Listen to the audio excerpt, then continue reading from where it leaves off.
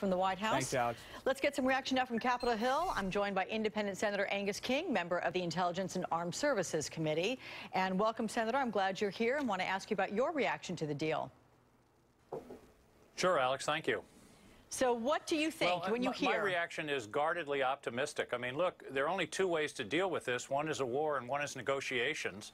Negotiations have to start somewhere, and this strikes me as a as a promising start. You've got a, a, essentially a six-month pause, uh, a freezing of the uh, enrichment uh, uh program, and modest uh, uh, dialing back of the sanctions. This is a delicate moment. I, I'm frankly concerned about the idea of putting on more sanctions in December because, from what I understand, there's considerable dispute within Iran about this, and the hardliners are suspicious.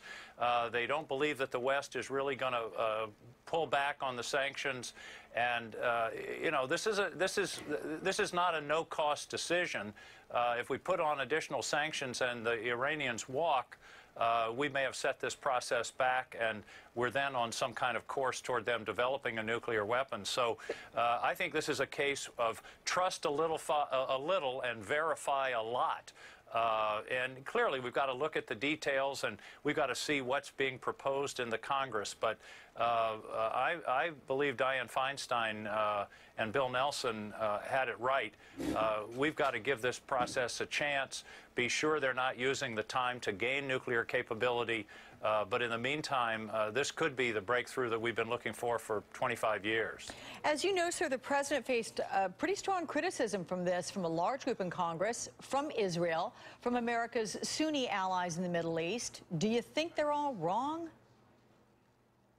No, I don't think they're all wrong. I think they're raising red flags quite properly, and, and this is a very important step. But I'm not sure what the uh, what the alternative is if we uh, the sanctions that we have now are brutal. Uh, they're having an effect. That's why these people are at the negotiating table. I don't think there's much doubt of that. The new leadership wants to do something about the economic effect of these sanctions. Uh, the question is, how do we proceed? And it, and it strikes me that the negotiators have reached a kind of, it's, this is, it's important. This is not the deal. This right. is a first step in a deal that attempts to freeze the development, freeze the enrichment process in exchange for a partial relief of the sanctions. And if it doesn't work, if they cheat, if they're caught cheating, if they lie, the sanctions can always be ratcheted up uh, virtually on a moment's notice. So uh, and, and, the other piece that isn't getting much discussion is uh, people are talking about it. You know, this is Obama and and and the uh, and the Iranians. In fact, this is a negotiated deal with the entire. Uh, Security Council plus Germany. This is an international uh, negotiation that's going on here. It's not just us. And uh, as I say, I, I, think we have to be really careful that we not do something that will undermine the, the, the, the, process of negotiations to the point where we're back to, you know, armed, literally armed camps, not talking to each other. And as I said at the beginning, there are only two ways to solve this problem. Uh, one is war, which I don't think is a very appealing alternative, mm -hmm. and the other is negotiations. And uh, let's take it one step at a time. But as you are well aware, there is a lot of disagreement over the Iranians' real ambitions. You've got Israel on the one hand thinking that they want a bomb, Iran saying, particularly uh, with this new president, that no, this is not what we're doing, that this is one of the greatest jokes of history. Now, that may be an extreme statement there, but what is the intelligence that you are seeing? What is it telling you? Well, I, I, should say at the outset that I have not had a briefing, uh, we have not had a briefing at the Intelligence Committee uh, in, in the last several days on this issue. We had a briefing on Afghanistan last week, and I'm sure we'll be get, we will be having being briefed on this. But I, I, don't think there's any question that Iran is trying to develop a nuclear weapon. They have that. It's a, it's some kind of uh, international bad, badge of respectability. But I also know that these sanctions are really hurting, and uh, that I think the Iranian people are saying, is it worth it? And that's exactly what we want them to say. Uh, so I, I, think they have been on this course, and the question is, how do we divert them from it? Now, we've got to be really careful. You know, there was a, a supposed deal with North Korea uh, 10 years or so, and it didn't work, and they went ahead. And, and I think uh, I know many, many members of Congress remember that experience, and that's why I said, you know, uh, trust a little and verify a lot. This has to be carefully monitored. uh, very small steps. Uh, but I think they're steps in, in the right direction. And my sense is this recent election in Iran did represent a, uh, a change of direction, at least partially.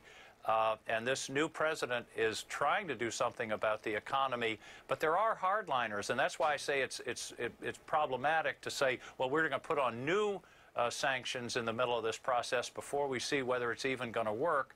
Uh, on the one hand, you say, well, that'll increase the pressure. On the other hand, it may uh, give the hardliners uh, the the, the uh, right of way to say, yeah, see, these guys can't be trusted. Uh, we're gonna we're gonna walk away and and uh, go at our uh, on our own uh, pace toward this nuclear weapon. Uh, that's why this is a delicate moment in my view. Senator, do you do you see a day in the near future where relations between the U.S. and Iran are fully normalized, or is it always going to be more of a détente? Well, I, you know, fully normalized. I mean, that's that's going to take a long time. Although, you know, we're now negotiating a free trade agreement with Vietnam. I think if you'd have told people in the '60s that we were going to be uh, doing free trade agreements with uh, the, the the Republic of Vietnam, they would have said, "Oh, that'll never happen." So, you know, history has a way of uh, of uh, changing perspectives. But uh, listen, the priority now is the prospect of a nuclear armed Iran, which is not in anybody's interest, not in Israel's, not in the Middle East, not in America's. And the question is, how do we do something about it? And the answer is through step by step, carefully verified uh, negotiations. And it is, as I say, a, a, a difficult and, and, and delicate process. There are no clear answers. If it were, we wouldn't be even discussing it here. It would be easy. Uh, but uh, there may be a time when we have more normalized relationships with Iran, but I'm not predicting that. I'll settle for getting rid of the nuclear weapon capability. Senator Angus King, many thanks for your time. I appreciate it. Yes, sir. Alex, thank you very much. And here's one quick last note for all of you. News of the nuclear deal immediately increased the value of Iran's currency. The rial rose.